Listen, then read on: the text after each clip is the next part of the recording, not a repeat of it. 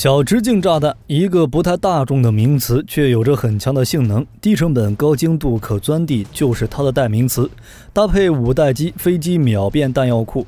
在这个领域里，美国是先行者，而我们今天的主角就是美国第一代小直径炸弹 GBU 三九。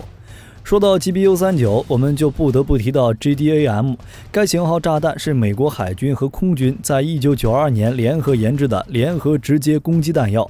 二十世纪六十年代，美军越战剩下 Mk 八四、Mk 八三的等穿甲炸弹，没了用武之地。于是，美国经过添加制导系统等装置，使这些穿甲炸弹摇身一变，成为了航空炸弹，代号为 GBU 二九、GBU 三零、GBU 三一。其中，制导控制部件是 JDAM 的核心，包括 INS 任务计算机和电源模块。在普通炸弹上加装制导系统，相当于是为炸弹安上了眼睛，将打击精准度从原来的几十米提高到了三米。安装控制飞行的尾翼，将其的打击距离从原来的不足十公里提升到一百一十公里。将高超技术移植到废铜烂铁，打造出一种高精密的制导武器。美国这笔账稳赚不赔。只是这种武器大多都是通过老式炸弹改造而成，体积和重量较大。一架 B-2 隐身战略轰炸机出动一次只能携带大约十六枚九百零八公斤的制导炸弹，攻击几个地面目标，作战效能太低。再加上美国的作战飞机都逐渐朝隐身化方向发展，机载武器也只能采取内置弹舱装载，所以研制一种体积小、质量轻，而且威力更大、通用性强的微小型制导炸弹。于是波音公司就接下了这个任务，并在2002年试验成功，在2006年正式装备，同年在伊拉克首次实战使用。除了 F 幺五等常规战机外，GBU 三九还能装载在 F 三五、F 二二隐形结构中。在 F 二二隐形战机中，每一侧武器舱中各挂载四到八枚。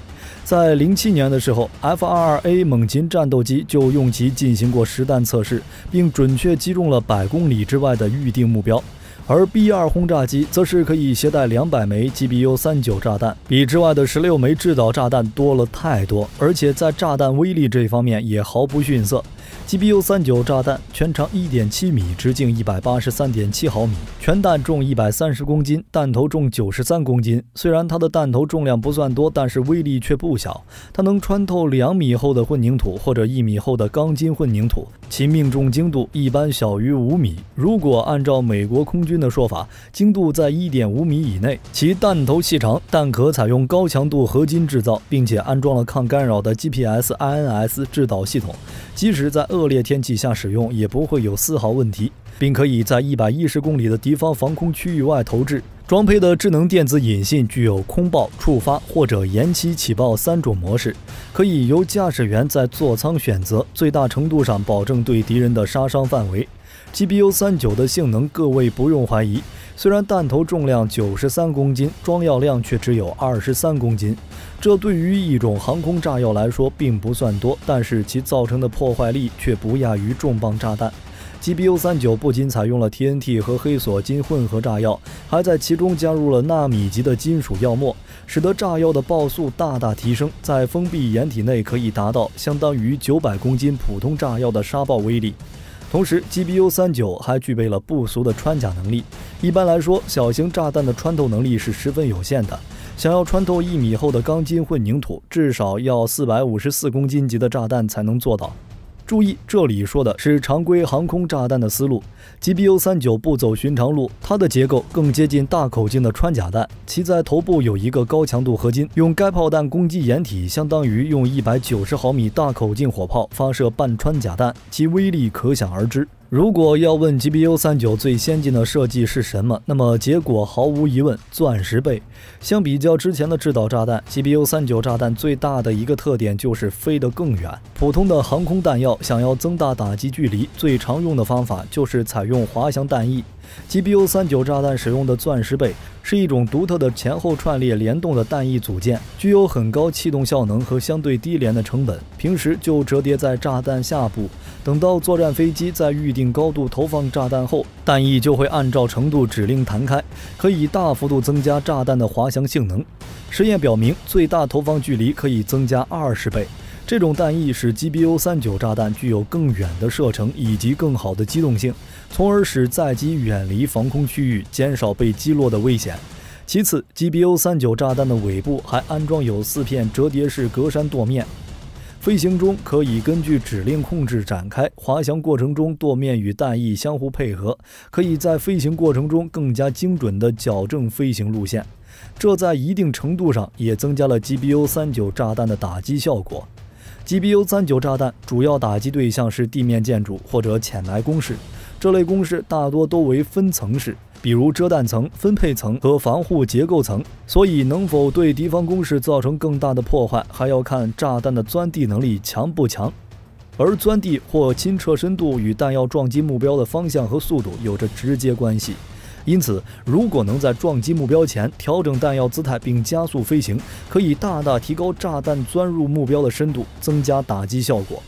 体积小、威力大，自然引来了他国的关注。以色列就是 GBU-39 炸弹的忠诚用户，它是以色列空袭加沙的主力弹药，是攻击哈马斯杀手锏，摧毁了哈马斯武装组织的大量地下掩体和武器库。不过需要注意的是，虽然 GBU-39 炸弹的性能不错，但是它毕竟是第一代小直径智能炸弹，不可避免地出现了一些问题。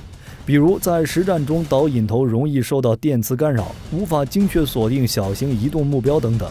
因此，美军提出了第二代小直径精确制导炸弹的研制计划，也就是升级版 GBU-53 风暴破坏者滑翔炸弹。GBU-53 炸弹是以波音公司的 GBU-40 滑翔弹为基础，采用洛克希德马丁公司新型航弹技术，并由雷神公司集成。相对于 GBU-39 炸弹，该炸弹体型更小，弹径仅145毫米，弹长1.8米，采用折叠弹翼，总重量94.7公斤。由于弹体较小，一架 F-15E 战斗机可携带20枚该弹。